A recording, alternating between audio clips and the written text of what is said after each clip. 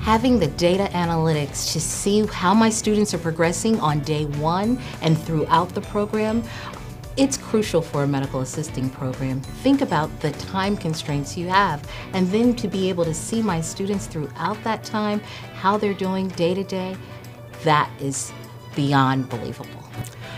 I can't tell you how many students have told me, well, I studied, I just don't understand what happened. Being able to know that the students can effectively study ahead of time and I can see where the weak points are gives me the ability to adapt my classroom based on their progress. Faculty often struggle with the ability to hold students accountable for their own learning.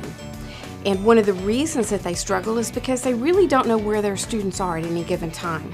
This would give faculty the opportunity to uh, offer that individualized plan so that they could move their students forward at their own pace as in their own learning style. So this would be a great opportunity if we could see how students are doing in real time on a daily basis.